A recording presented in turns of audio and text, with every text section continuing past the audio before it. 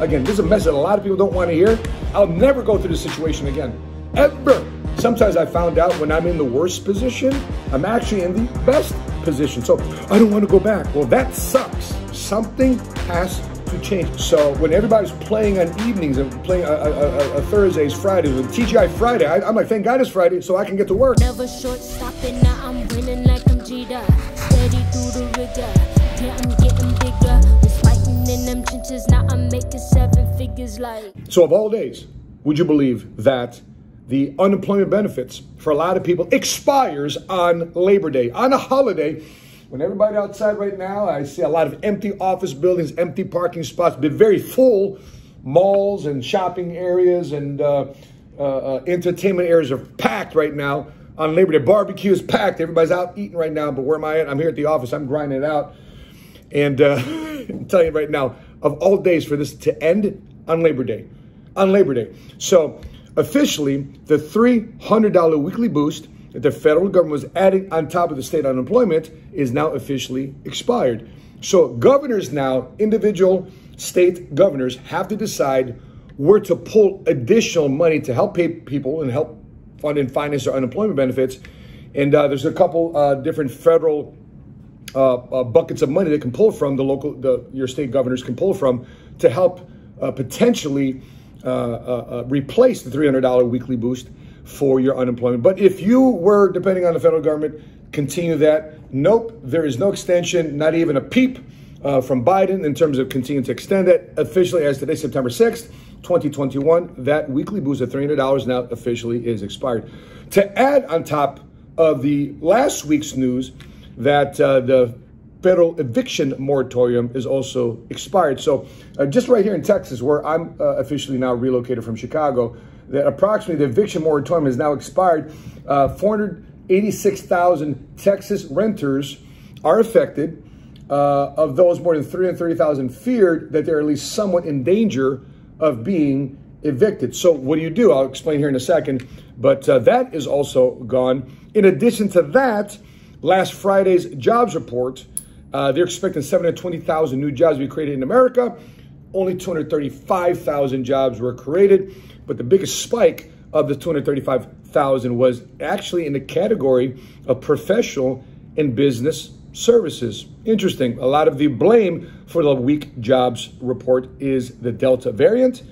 Uh, but yet at the same time, too, I see a bunch of college football games, parties, and clubs and restaurants, and everybody just balling out and having a great time, packed, no masks, whatever the case may be, but yet they blame the Delta variant for not creating enough jobs or a lot of people not wanting to get back to work. So, what are my thoughts? Here's my reaction to it. Seeing all these things pile up and just being a person, being about town, just observing with my own two eyes what's going on, the reality of life, not necessarily what goes on in the media, not necessarily what happens with our politicians who uh, operate this business from behind a desk in a bureaucracy. Uh, my reaction to this is number one, uh, we've been saying this for a very long time. If you weren't using this extra money, if you was, wasn't using this extra time to plan on your next move or moves, it's not like you lacked money or time, you just lacked discipline. Again, this is a message a lot of people don't want to hear. Um, you may tune out right here. I totally get it. I totally understand. You might drop in a comment message here. Matt, you know what you're talking about. You're so highbrow. You're so out of touch. Listen, guys, who am I? I used to make $20,000 a year as a sergeant in the Marines. Who am I? I'm just a, a kid from an immigrant family, uh, born in the Chicagoland area with no rich parents, no uh, uh, uh, uh, financial inheritance, no financial head start, no network to plug into. I listened to the Marines. Eight years in the Marines, that was my college. That was my uh, University of Hard Knocks. That was my life accelerator to get real with my life very early. Been divorced, been married, filed bankruptcy in, back in 1996 as a 21 year old corporal in the Marines. And uh, I've learned my tough lessons, and I realized through those tough lessons, I remember uh, uh, filing bankruptcy. I remember telling myself, I'll never go through this situation again. Ever. Ever go through this situation again. But sadly, a lot of people like making the same mistake over and over and over. And by the way, who am I to say? Because I've done that many areas of my life too as well. But I find myself um, in a position when it comes to money, since it stings me so badly, I've learned over time not to make the same financial mistakes over and over. Relationship wise, I screwed it all up. Obviously, that's that's been my dialogue. If you've seen that in my YouTube video, you've seen that on my channel. Um, I'm completely an open book. I'm authentic, and, and hopefully you feel that I'm genuine uh, about that, that I'm sharing with you my life mistakes, is I want you to avoid a lot of mistakes I made, so therefore you can have an accelerated path to become a first generation faith based cash flow millionaire. But number one, my reaction to this is some tips, some takeaways. Don't wait for things to pile up. And, and when you have life hitting you, boom, boom, boom, you say, oh, I'll just put it away. Push, push that pile of envelopes or push these pile of problems to the side. It'll handle yourself. Sweep it on the rug. It'll handle itself. Somebody else is going to take care of it. I've learned the hard way. Nobody ever will. You got to take care of it. You got to handle it. Uh, things do not um, miraculously just evaporate. You got to hit it as hard back as it's hitting you. Uh, so how do you practically do that? Um, if things have just piled up on you, you know, your, your uh, unemployment check just expired, your uh, moratorium on your eviction just expired, uh, there's the job that you have is either not hiring or not paying you enough, and you're fighting for a politician to pay you 15, 20, 25 bucks an hour. That's not happening anytime soon. Don't wait for somebody else to wave a magic wand and improve your life. You've got to do some areas of practicality. Talk to your landlord. Uh, many states, I'm reading here, many states have their own rental assistance program because uh, they, you know, a lot of landlords, you know, either A, they don't want their tenants uh, taken off, but at the same time, too, there's a bunch of landlords that also don't have to participate in the rental assistance program. So they don't have to accept the money and they can still proceed with the evictions. But if you have a dialogue, I've realized in many relationships, even if you have, may have a disagreement or somebody feels that they're being taken advantage of, if you sit there, you apologize, you know, you empty your cup, you, you say, listen, man, I, I'm coming through some tough times with humility, uh, soft tone. You know, hopefully they can extend grace and mercy upon your current situation. Um, they'll listen to you, hopefully. Uh, but you got to talk it through. You got to talk it out. But worst case scenario happens. Listen, sometimes I found out when I'm in the worst position, I'm actually in the best position. So who knows?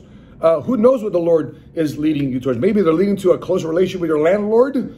I don't know. You got to figure that stuff out or they may be leading to another opportunity, another way for you to get housing or for you to get income. Uh, the, the, the, the Lord is directing you on a different path, that there's a specific divine appointment that's happening right now, and you should also be listening for it and being aware of it if that happens. But uh, usually, when I find myself in a worse position, I find myself in a best position, but I got to make sure I'm also doing my part.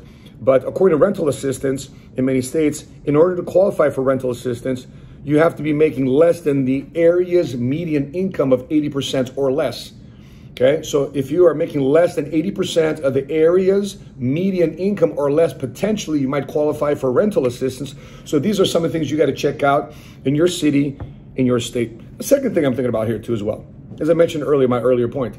Um, I've built my business, I've built my career going from part time entrepreneur to full time entrepreneur to all the time entrepreneur. I built it on rethinking about what holidays, evenings, and long weekends, long weekends, holiday weekends are all about. You know, uh, you know, the, the last thing my wife and I think about when we plan our vacations is, okay, it's the holiday weekend, everybody's going out, so we got to go out too.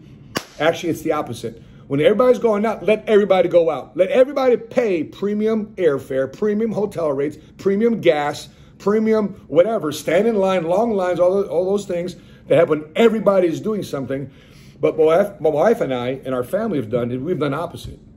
So when people are taking off on holiday weekends, either we go before or after, and we don't go on Fridays, Saturdays, and Sundays. We take off when Monday, Tuesdays, and Wednesdays, or Wednesdays, Thursdays, and Fridays, in the areas where a lot of these businesses, a lot of these hotels, a lot of these uh, airlines, they would love to sell you a hotel room when there's not a lot of demand.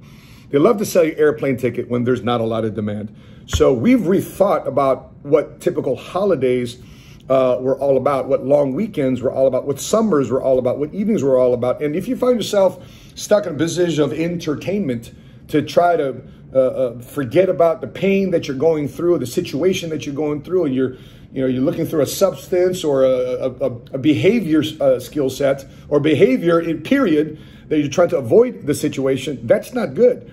Um, quite the opposite is true. If you find a business, you find a side hustle, if you start your like I did, I started my side business leaving the military for a year, almost a year and some change. I studied the insurance industry, I studied finance, I studied the money, the rules of the money game. Uh, when I did get out, I didn't fully transition to my full-time business right away. I took three uh, uh, de minimis jobs. I was a Jiffy Lube technician. I was a Olive Garden server and I was a YMCA lifeguard. I'm just wowing you with my resume right now. But even then, even as I transitioned out the military, I took these menial jobs, combined income together, pay the bills, and uh, uh, uh, feed my, my children as a single father of three kids, and was still able to use that time and energy and resources to pay the bills while I built my business on evenings and weekends at times that I'm not clocking in and clocking out for somebody else. So when everybody's playing on evenings and playing a, a, a Thursdays, Fridays, and TGI Friday, I, am like, thank God it's Friday, so I can get to work more. And because the real believers in their dreams, I found work when everybody is playing. Now, I'm not saying not to go out and have fun. I'm not saying not to go enjoy your family or have what they call quote unquote work life balance.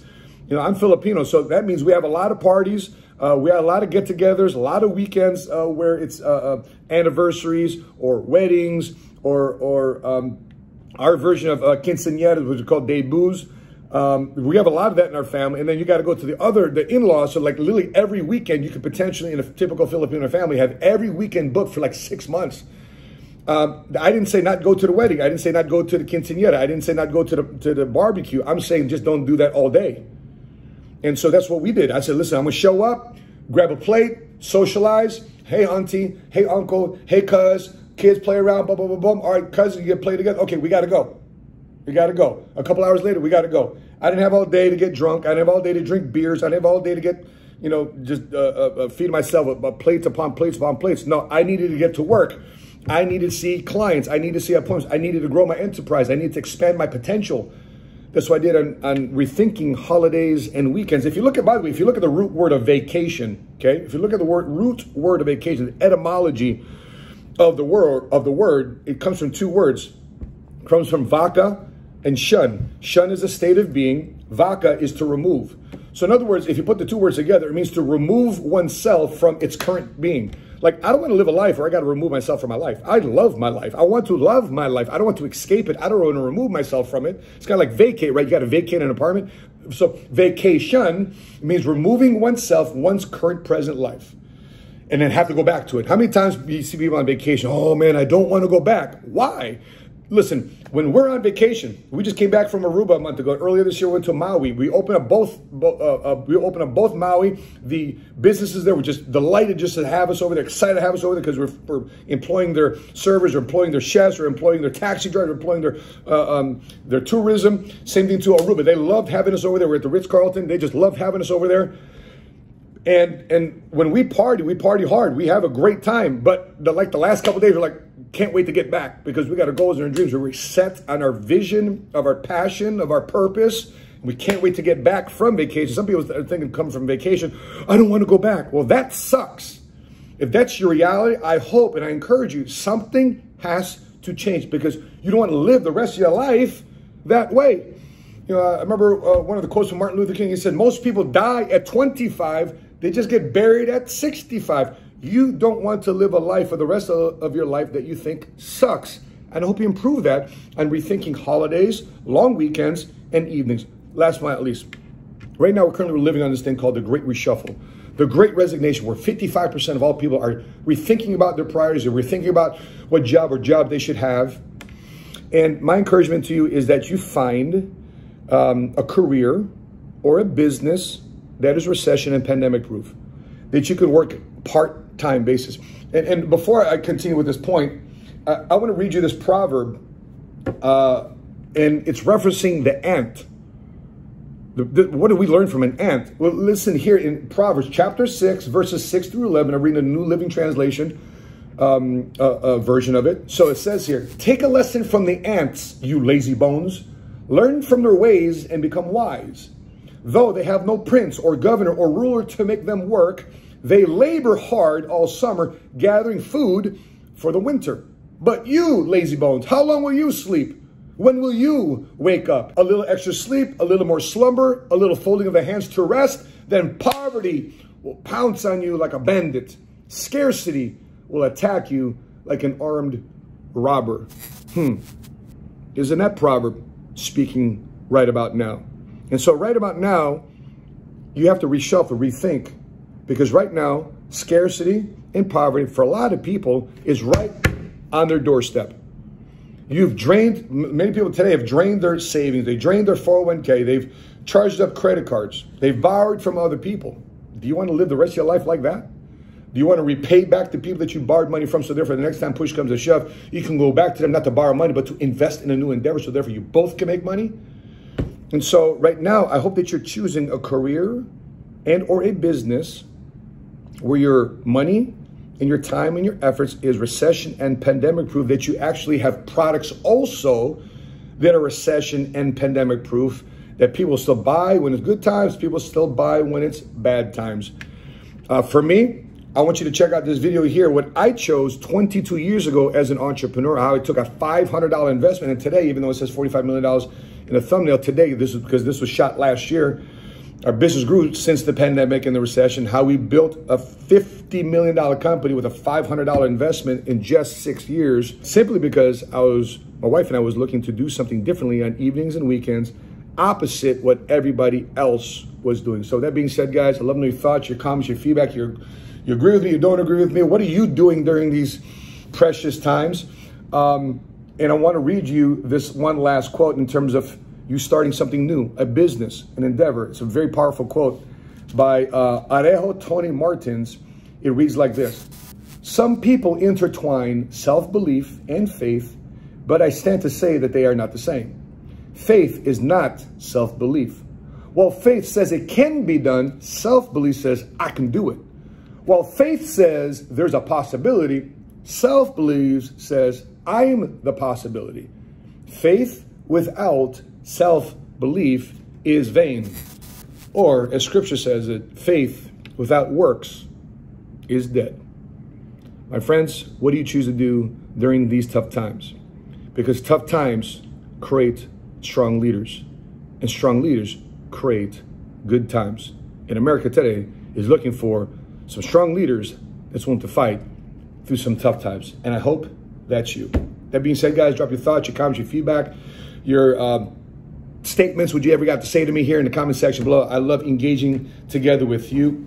If you're watching this on Facebook, make sure you click like and follow our Facebook page, Money Smart Guy. If you're watching this on YouTube, make sure you click subscribe and hit notifications to be alerted the next time we upload our next episode. Here from Dallas, Texas. Bo from Dallas, Texas. I'm your Money Smart Guy. And until we meet again.